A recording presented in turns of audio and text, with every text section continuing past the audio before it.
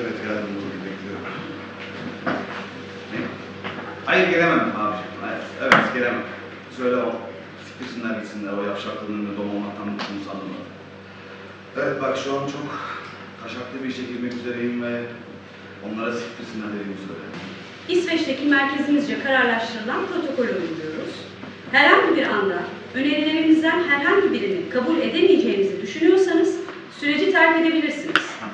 Kapı açık. Elbette eğer bu salonu terk ederseniz hangi nedenle olursa olsun artık bu görevi üstlenmekten vazgeçtiğinizi düşüneceğiz. Gelelim sınava. 10 dakika. Sadece 10 dakikamız var fazla değil. Bence sahtekarın kim olduğunu bulmaya çalışmaktansa ileriye gitmek daha da. Sahtekar? Evet. Siz iş yerinde yöneticiydiniz değil mi? Tabii ki.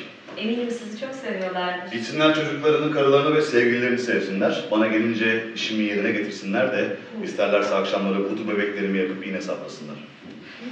Evet. Siz bizim yerimizde olsaydınız ne yapardınız? Konumuz bu değil. Hayır konuşsam da bu.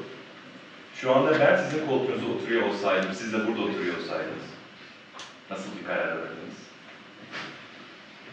Bakın, burada herkesin oynaması gereken bir rol var. Benim rolüm bu değil.